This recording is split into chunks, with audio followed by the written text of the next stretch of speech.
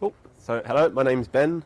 I'm uh, over at Queen Mary University in London, and I'm going to be talking about Raphtory, a system that me and my two advisors have been building, uh, which looking at distributed temporal graphs and how we're building and maintaining them from a, set of event streams.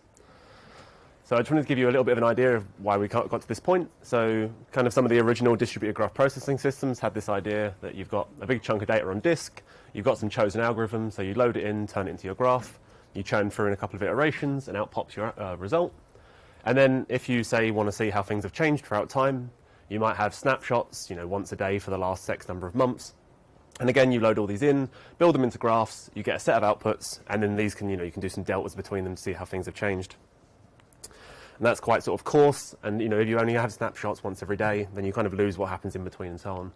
This is kind of improved with these uh, stream-based graph processing systems, where you have some event source out in the wild, so some of the examples we've been looking at are like cryptocurrencies, mapping data, so people moving around cities, and obviously social networks. And then changes in these event sources can then affect your in-memory graph. So in the case of a social network, you might have a user joins the network, someone follows their friend, and so on. So these can all be inserted in. And then users of your system can then query this. You know, they, they request processing and get their results back. So this is great if you want to do some analysis on the most recent version of the graph, or alternatively, if you've got some metric that you're interested in monitoring and then seeing how this changes over time. So what we were thinking was is that, well, if you've got all these changes coming in and you have all these problems with trying to keep all your graph in sync and up to date, why don't we just try to keep all of the changes and build a full temporal graph? So this could, this in some ways simplifies the way that we actually synchronize, but then also allows us to do things like comparing the newest state to all of the previous versions of the state, and then actually do proper temporal queries. So something like if you're doing a shortest path, it might be, oh, I only want to go out on edges that are younger than the one I come in on, or alternatively, you might have, say, for, I don't know, planes flying around, edges only exist for a certain period of time, and you need to get there um, and get on that edge before it disappears. So with those ideas in mind, we come up with Raphtory, um, our initial work was on kind of formalizing this temporal graph model and the update semantics, so how we add, uh, remove uh, vertices and edges, as well as updating a set of properties that they have, so a key, uh, key value set of properties associated with them. Um, how we actually distribute and manage this graph in memory, so we have a set of partitions which have a set of vertices and edges each. And then how we sort of stream all of these updates um, into these partitions and keep them in sync. And then we also provide this sort of Pregel-like temporal graph analysis model in which the user can request to do some analysis on the live graph, uh, any point back in time down to the resolution of the actual timestamps on the data. So you could say, you know, what does it look like last Thursday at 3.02 in the afternoon? And then actually look through ranges, so sort of hop throughout the whole history of the graph and compute these different metrics and see how they change. So I'll just go over a quick run through the architecture. Um, so over here we have this data spout. So this is kind of how the user decides how to connect to the outside world. So this is something like, you know, I, I want to read this file, connect to this database, um, listen to this Kafka um, stream or something along these lines. This goes into a set of graph routers. Effectively, what a router does is it takes a user-defined function and what that raw input transfers into in terms of graph um, updates. So what is a vertex, what is an edge? If something comes in, this is actually an update to a property and so on. And then they forward it off to the correct partition manager or partition of the graph, which deals with that vertex or edge that are affected. And then as this is constantly running and maintaining, users can submit analysis requests which talk to the partitions. So I'll go on to that in a second. So if we dive into one of these partitions, they'll have a set of vertices and edges, as I said, and all of these will then have some history appended to them. So in this case, this vertex was created at time 8, then had some update appended to it at time 14. And this edge was created at time 14, possibly why this vertex has uh, an update, and was then deleted at some point later on as we're split across several partitions, we use an edge um, cut um, partitioning algorithm. So this edge down here, because vertex 1 and vertex 2 are different machines, are actually split across the two machines, and uh, you can see they're in sync. Right, so one thing that's really interesting about this type of history is that now all of our updates kind of become additive. So even if we have a delete happen first and um, an add happen after, as long as we keep this chronological list, we can just slot them into the correct position. So you always end up with the right graph. So this is kind of nice because if you have this problem of updates coming in the wrong order for a lot of other systems, you either have to drop them, ignore them, or you get an incorrect state in one of your partitions. So as an example of this, we may have, say, this edge add that comes in at time 14. Uh, because partition manager, partition manager 1 deals with because vertex 1 is the source node. Um, so we insert that into the machine, uh, the edge gets created, and the vertex 1 gets updated. We then synchronize across to the other node, say, hey, I've got an edge that I share with you. So that gets updated into Vertex 2, and the edge gets created there as well. So that's all fantastic. Everything's happened in the correct order. Everything's brilliant. Well, what happens if, say, an edge gets added before we get a vertex? Well, in this case, we can create both objects. The vertex actually just becomes a placeholder. And then, so again, we synchronize, do everything exactly the same.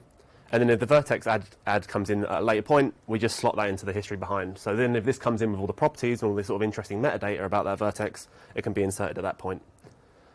And then obviously things can go completely haywire. So for some reason, some packets have been lost or, you know, the network's gone all, all over the place. And in this case, this vertex has actually been deleted before it's even been created. So in a lot of systems, you might find that this is just, okay, well, this is nonsense. Let's just drop it and ignore it. And that's obviously not what we want to do here. So again, we have a placeholder object which holds its deletion. When the edge add, in this instance, comes into the other machine, um, it, it, does what it does in that machine and then synchronizes across, at which point the vertex now gets its creation at the correct point, and we can insert this edge. And then because this vertex was deleted, all of its incoming and outgoing edges should be deleted so we don't have anything hanging, and that can then synchronize back. So even though this went sort of completely wrong, you still end up with the same state um, and the same temporal graph moving forward. So we've stuck in some watermarking so you kind of know when, when it gets to the point where this is safe to do, or if you want to, you know, you can go with the approximate approach of just give me what's going in memory now.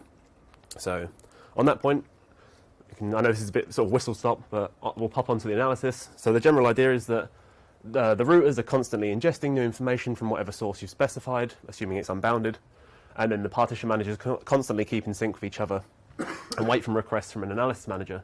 So the user says, hey, I want to run this analysis. Um, can I submit it? So this goes off. All of the partition managers will then go through their set of vertices, run this sort of vertex-centric algorithm, and then return to the analysis manager. An analysis manager can say, okay, well, all of my vertices have either decided to vote to halt or another iteration is required, and this will go back and forth until it's happy that it's finished and the result can be returned to the user. So what can the user actually request? Well, the first thing is that um, if we have this temporal graph in memory, um, we can say, okay, well, give me what the live graph looks like. So this is um, the most recent version of the graph, either watermarked, as I said, so this is kind of the safe live graph, or alternatively, you could ask for the bleeding edge, absolute most recent version in which you have some error of proximity, so depending on what sort of use case you have there. Alternatively, you might say, okay, well, give me what it lo looked like last week, last month, a year ago, something like this. And these tends to be sort of stored in memory, so we'll build that view, and I'll go over that in a second. Or alternatively, if Raphtory has been running for a very long time and you start to have to push the older stuff out of memory, then we can start loading some of those things back if you want to go back that far. We're also looking for ways of sort of offloading very old queries into a different set of partition managers, so that query that sort of doesn't interrupt what's going on in the most recent version of the graph. That obviously is future work. Cool. So if we then say we have this full history of everything that's been ingested um, from time zero up until time n, so the, the newest update, we might say, okay, well, I want to see what the graph looked like at t10. And a good way of viewing that, what view is, is kind of like a right-hand filter. So you say, okay, well, this is everything that's happened. I'm not interested in anything that's happened after this point, so let's just kind of get rid of that for the moment. So that you kind of get to see now what the graph looked like exactly at that point of time uh, and then that can be used for your analysis. But one of the things we found was that you know, if, you're, if you're looking at very large um, data sets that have been existed for you know, years and years, then there's an awful lot of patterns that happen in the short term that kind of get hidden by this huge aggregate amount of data. So we added in something we like to call also graph windowing, which kind of is like the left-hand filter. And in this case, you're saying, okay, well, I'm only interested in things that have happened in this band of time. So it could be from this timestamp for the last day, the last week, the last month, and so on. And uh, so then you can actually view um, the sh short-term patterns as well as long-term ones. And so for that, we actually offer uh, windowing batches. So you can say, okay, well, start at this point and then just decrease the size of the window down continuously until you've reached all, you've done all the ones I'm interested in. Um, as well as these individual views, you might actually say, okay, well, I'm interested in this uh, sort of range of time, so over the last year or something, and I want to hop through at some set interval, maybe an hour or a day. And again, you can do this. So we can say build a view at the oldest point, so time four, and then we can hop forward to time six, and the new, and the new view is generated, time eight and time 10. So again, if you're doing these ranges, you can have all this windowing and window batching on top as well. So that's obviously sort of very theoretical and um, sort of a concrete use case would obviously be very nice, um, as I imagine a lot of you are thinking. So one of the, one of the things here that we had looked at was a network called Gab.ai. Has anyone heard of Gab? Good. I, don't, I wouldn't think so. So Gab is a Twitter clone. Um, it's kind of this like uh, right-wing forum, um, but they had an open REST API, so I downloaded all of their posts. So um, I they're like the big free speech thing, so I don't know. I assume that's why it's open. But um, so I scraped them all um, between the end of 2016 up until mid 2018, and we then had a look at if we if we set a query running for that whole range of time and hopped forward an hour at a time, um, what do we see any changes in something like just something simple like the largest connected component? So for this, we then set several different window sizes. So we said, okay, have a look at a very small window, like an hour, uh, a day, a week, a month, year, and then the full aggregate graph. And the interesting thing here is that even though you're running kind of the same algorithm, you actually notice very different patterns. So the aggregate kind of shows, oh, the connected component continuously grows, whereas actually if you look at something like the month, you have these peaks of interest. So this is actually Donald Trump's election. This is the Charlottesville riots. So there's kind of like these like peaks of activity when people join the network and start using it, uh, and then that sort of drops down again. And then if we zoom in a little bit further down to the hour scale, you can see that everything above uh, like a window size of a day, the largest connected component is always like 100% of the graph. So everyone's always connected. It doesn't really change very much. However, for an hour, you get this lovely diurnal pattern as people kind of go to sleep and wake back up. So um, the largest connected component, so is like 80% of the graph, so almost everyone is connected. But then as people start to go to sleep, this all breaks down into very small communities that are talking to each other in the wee hours, and then that brings back up again as people start coming back online. So yeah, so um, even doing the same query, um, running on these sort of different lenses or views of the graph, gives you very different results. So we're kind of starting to explore this a little bit now, and we're obviously interested in anyone that um, wants to talk about this sort of stuff. So on that point, um, if you are interested in using Raphtory, it is available on GitHub. Um, it, it's all Dockerized and has um, some actually pretty dreadful scripts to run it, but I'm working on improving those. So yeah, so you can you can run it in there. There's examples of that, that actual Gab graph that I just went over. Um, we've got loads of spouts for ingesting different data. So Gab, Twitter, Bitcoin, Ethereum, and loads of other random ones. Um, we have actually ingested the whole Bitcoin and Ethereum graphs over a big cluster of machines, and are working with a couple of different companies to do some like know your customer um, entity resolution stuff. Um, and so yeah, and we also have multiple analysis functions, so things like connected components and PageRank. We're looking at information diffusion, so, um, so this is like spreading uh, taint across cryptocurrency, and then simple things like uh, degree ranking and so on. Um, so for the, the future of Raphtory, uh, we've just been funded by the Alan Turing Institute in London, for any of you guys that know it, um, to turn this from kind of the initial uh, researchy project into an actual product that researchers can use. So we're partnering with the um, Leeds University to look at some very large um, uh, transport data sets, mapping people moving around cities, and then so, so see how that changes over time. If uh, you know the council do something like they put in a pelican crossing, how long do they have to monitor to see sort of different changes in foot traffic? Um, and also, we're now spinning this out of Queen Mary into a company called Choreograph. Um, so if you do see this name pop up, then it's probably me, or not someone trying to steal my name. Um, but yeah, if uh, if you are interested, please drop me a line, or um, you know, uh, leave anything on the um, Git, I'm always on there. So thank you very much for listening.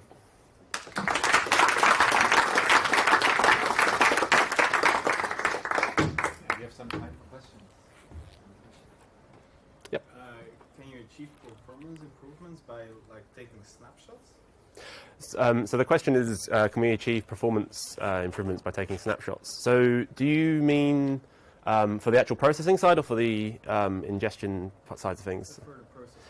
So the on the processing side, um, it, we're looking at this uh, this a little bit. So all the in-memory stuff, uh, when you build a view, um, all of the previous versions are, are, already there. So you just go to the vertex, you pull what it would look like at that point of time if it was, you know, so you'd filter initially, um, and you then sort of you can use that vertex as it exists in memory already. Um, for the stuff that's pulled back in from uh, disk, we're having a look at different snapshotting slash replay mechanics to make sure that they work properly. So there'll be this kind of idea of, okay, every X minutes you take a snapshot, and then you have the replay of messages using Akka um, um, sort of the message replay to say, okay, let's get back to exactly the point we're interested in, and then what's the sort of heuristics around that. So that's kind of the next step that we're looking at at the moment. But yeah, so it's for everything that's in memory, it works pretty much as is. If I've correctly understood you, you were thinking of, uh, I have one starting network and a constant stream of messages coming in from a, si from a single uh, point of truth. Uh, yes. Now, um, if you have a simulation environment where multiple people want to make different modifications of mm -hmm. network and look at variants of your network. Yes. Is that something that you can handle? So um, we're having a look at perhaps some sort of like um, I don't know ve- vector clock implementation or something where you get sort of different timestamps from all over the place coming in. Um, for the moment, our assumption is that if you're attaching to an outside source, um, that that's going to be a um, the timestamps coming in are the timestamps we're using. So a lot of the ones, or say for example on the social networks, they tend to have you know that's done within their servers.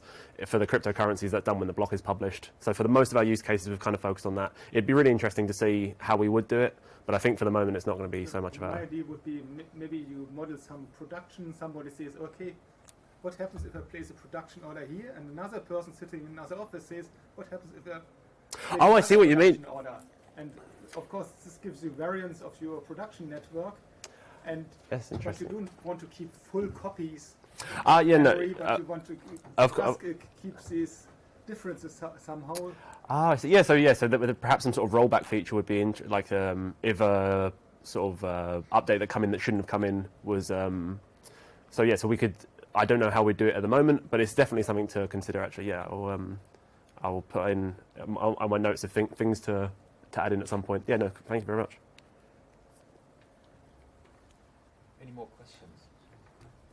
What's the bi- biggest challenge of uh, implementing graph algorithms on these dynamic graphs? So are there any things that you see from an, like